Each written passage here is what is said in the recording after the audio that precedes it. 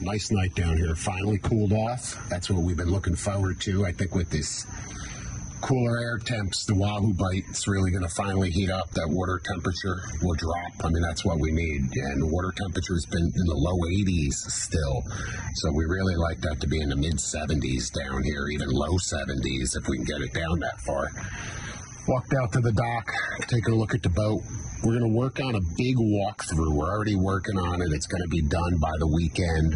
A really detailed walkthrough video. Very, very comprehensive. Very comprehensive. I'm going to talk about why I chose the Sea Hunter 41. I'm going to talk about the differences, legit differences between this boat, the Freeman 42, the Invincible 40. Those are great rides, no question.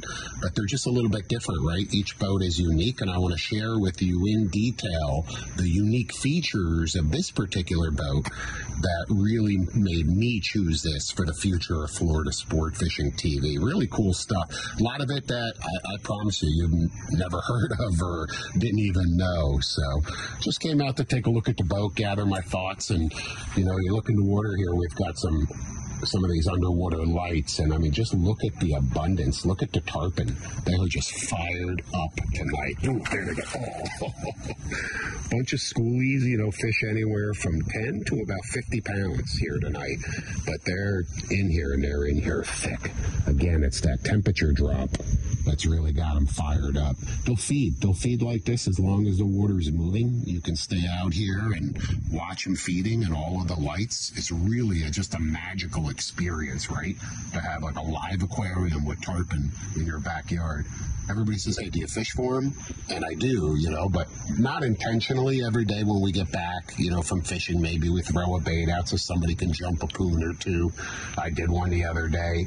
But it's not like we go, hey, let's go tarpon fishing off Mike's dock. And I think that's a great idea right? Would you fish off the dock for tarpon? so look at them. Yeah, they're fired up there. That's really, really cool. So, hey guys, want to just remind you one more time stick around. This comprehensive review on the Sea Hunter 41 CTS powered by the Quad Mercury 400 V10s with the electric steering. I'm telling you, man, this boat is absolutely incredible. I want to remind everybody, guys, check out our streaming site, Florida Sport Fishing TV Plus. That's where all the instructional videos are. That's where you're going to catch all of the episodes of Florida Sport Fishing TV, our new series, Captain Mike's Rigging Station. It's all there, exclusive content, all kinds of instructional stuff. Heavy focus on fishing the Keys? Yeah, because I'm down here in the Keys. Heavy focus on focus on South Florida in general?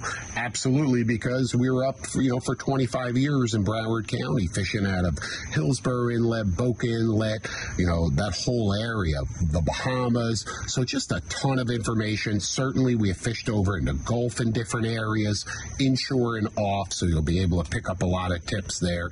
It's fsftv.com. No YouTube ads, 27 cents a day. Guys, 27 cents a day and you can get hooked up. Shorten the learning curve. Go from zero to hero in one fish. I mean, come on, it's an absolute no brainer. And if you're not 100% satisfied, 100% satisfied, if you really don't believe the value is there, and if I'm not helping you on the water, no problem. Call me, I'll refund every penny. I don't care where it is, I'll refund every penny. So check it out, fsftv.com. I'm looking forward for you to get hooked up.